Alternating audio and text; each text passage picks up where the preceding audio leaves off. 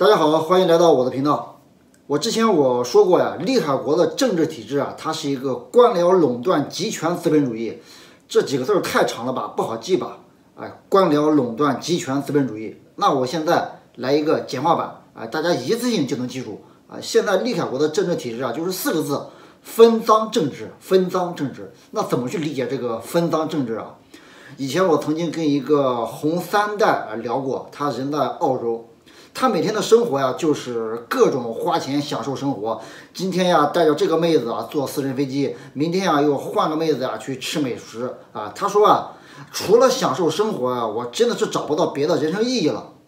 那我就问他了，那你的经济来源是哪里呢？那他说了，啊，江山是俺爷爷那辈人打下来的，拿命打下来的，所以。所以说，我现在我开着法拉利，住着豪宅，这是我应得的。哎，你不用羡慕，你想要啊？你想要，你拿命来换啊！哎，这是他说的话。你说这个红三代他的价值观里面啊，这个国家呀，它就是一个大蛋糕。哎，他爷爷那辈子啊，从蒋介石手里夺下来这个蛋糕，啊，于是呀，呃，只有这些人就可以去吃蛋糕，啊，大家就分蛋糕，这么一个过程，其实就是一个分赃的过程。哎，所以说我说这个。利海国的政治体制啊，它是一个分赃政治啊。说的再具体点吧，呃，说的再具体点，我曾经听到过别人的爆料，说很多年前啊，啊，某高官家里面，啊，一个十岁的小孩儿，呃，他曾经跟他的同学吹牛逼，他说我姑父啊，将来那可是要进常委的。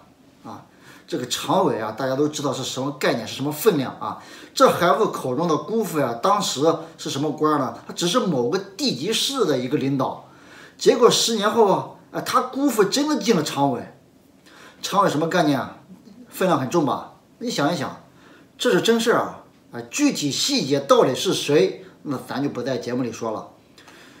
在利凯国这个高层的内部啊，他们对于什么人将来能够做多大官，掌握哪些国家部门啊，垄断哪些行业，这都是提前商量好的。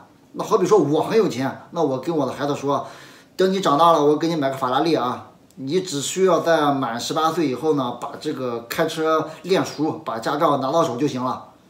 那在我很有钱的情况下，那给孩子买豪车，那只是一个时间问题啊。他现在小没法开啊，长大了再开啊，对吧？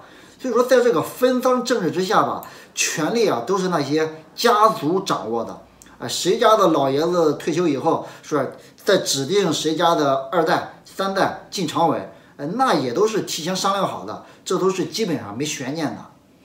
那在这么一种大环境之下呀，那老百姓就根本就没有机会去参与政治，哎，去参与国家的建设，哎，这厉害国它不像美国呀，人人都可以组建党派参与总统大选，是吧？不管结果如何，美国呢，它给你一个竞选的机会，它给你一个参选的机会。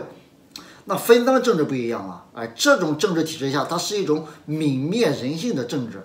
有才华、有理想的人，最终只能够沦为这个国家机器的螺丝钉和润滑油，根本改变不了国家的意志。哎，陈济南说了，有理想的人、读书人都进朝廷为朝廷效力了，哎，就这个意思啊。但是总是有良心发现的人，你比方说在这个澳洲啊，申请政治庇护的王立强。啊，他就属于良心发现的这一类人，是啊。那我来澳洲学本事，我本来是想创造更多的社会价值。我学画画，我是想留住人间的美。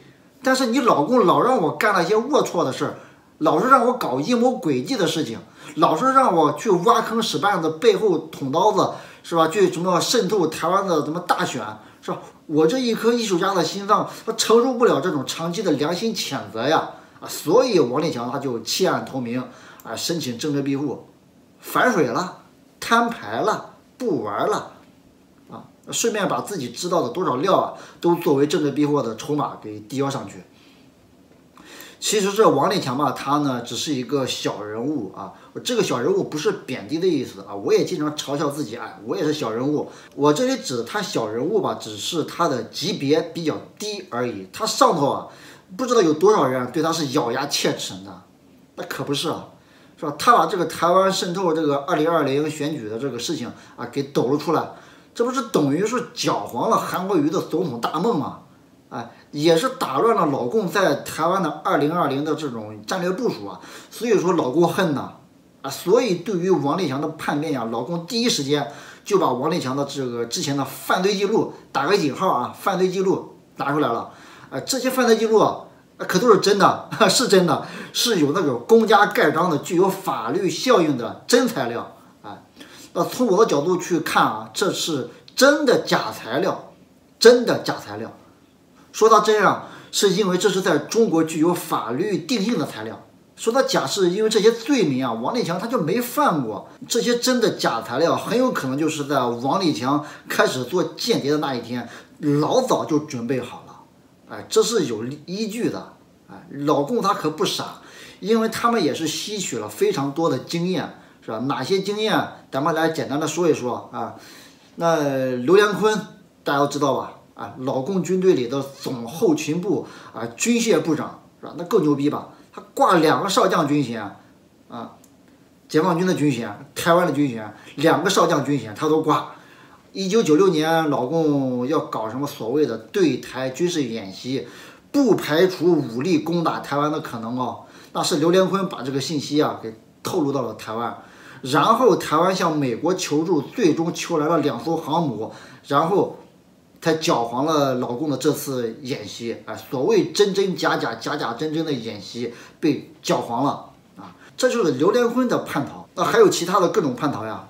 啊，我记得有一个呃，老共他驻美洲啊某国领事馆的工作人员吧，他也是公务出差到了美国的时候呢，就叛变了，到了美国就政治庇护了，哎，不玩了。哎，我举的这个刘连坤的例子，跟这个领事馆人员叛变的例子呀，这都是一些陈年烂谷子的事儿啊，那都是几十年前的事儿。这说明那些良心发现的人，然后弃暗投明的人，那可不止王立强一个啊。那几十年前就有人不断的去叛离老共了。所以呀，老共他为了给自己留一手，所有编制内的这种涉外工作人员嘛，特别是有一定级别的，是吧？那基本上都给你安排好了各种黑料了，什么强奸啦、抢劫啦、诈骗啦，甚至说这种非标定制啊，这种录像认罪这种视频啊，他都给你做好了，呃，都给你配好音了，啊，这都有。还有啊，很多那些涉外企业的高管都提前给他捏造好了罪名。哎，就怕你有朝一日啊，你出卖老公的秘密。有些工作多年的那些高管啊，就是对外涉外工作的，是吧？他辞职的时候，才意外的发现自己的档案里竟然有一些莫须有的罪名。这样，只要是出现间谍叛变，马上呢就发声明，啊，这个人跟我没关系啊，我可以证明他是个诈骗犯，他是个强奸犯，怎么怎么样？这不开玩笑，这种事情绝对是真的。这种给别人捏造假的罪名，这种事情绝对是真的，啊，你看似跟太诡异了吧，跟看电影一样。实际上，这现实世界啊，远比电影精彩。昨天说历史比电影精彩，今天我再说这个现实世界也比电影精彩。没有做不到，只有想不到。王立强事件嘛，之所以闹这么大，两个原因。啊，一来呢，现在是正处在中美贸易战啊以及香港反送中的关键时刻，王立强的叛变呀，等于说是对香港、对台湾、对美国以及对川普、对蔡英文的神助攻啊，这个时机非常好。这王立强一叛变，明年你看川普跟蔡英文连任妥妥的，刚才是第一。第二呢，现在呀是一个网络时代。王立强虽然说他的级别跟那个上述的刘连坤那是一个上天入地的差别，但是现在的这种信息传播速度可比那九十年代是快了千倍万倍了。所以这种王立强这个事件呀，这一爆发一夜之间是吧，在东西两个世界啊同时都炸锅了。嗯，话都说到这儿了，如果还有人认为王立强是骗子，是吧？那这个人的思考能力我要打一个问号了。啊，咱们看看历史啊，在国共内战的时候，那国民党的军队啊，它都是往往是成编制的投诚啊，成编制的反水。那这三十年河东，三十年河西，是吧？风水轮流转，今年到我家，啊，当所有人都看到这个共产主义事业在中国彻底失败，并且只会给人民带来灾难的时候，那么将会有更多的人像王立强一样去反水，选择弃暗投明。啊，或者找一个适当的时机啊，往美国的领事馆里一躲，以后呢就隐姓埋名了，你这种级别的叛变，肯定要给你一个新的身份，是吧？然后给你找一个别人找不着的地方去隐居算了，是吧？最后再说说我今天生活中遇到的一个小花絮吧。啊，我认识了一个年轻人啊，虽然说他比我年轻了好几岁，但是价值观层面呢，我们基本上都没有问题。他今天给我打电话呀，他说他换号码了啊，说以后啊不用微信聊天了啊，只用国外的软件。他说呀。老公这几年快完蛋了，是吧？这几年肯定会疯狂的去监视所有人的手机，会监视所有人的这种社交媒体软件啊。国产的软件啊，能卸多少就卸多少，能不用就不用。那你看，现在就连年轻人都意识到老公都蹦跶不了几年了，咱们这离天亮还会远吗？哎，已经有越来越多的人已经选择弃暗投明了，已经认清楚这是一个分赃政治。这种分赃政治不能够给人民带来希望，不能够给人民带来幸福。这种分赃政治之下的共产主义，它只会给人民带来灾难。所以说，才会有像王立强这样的人去反水、去叛变。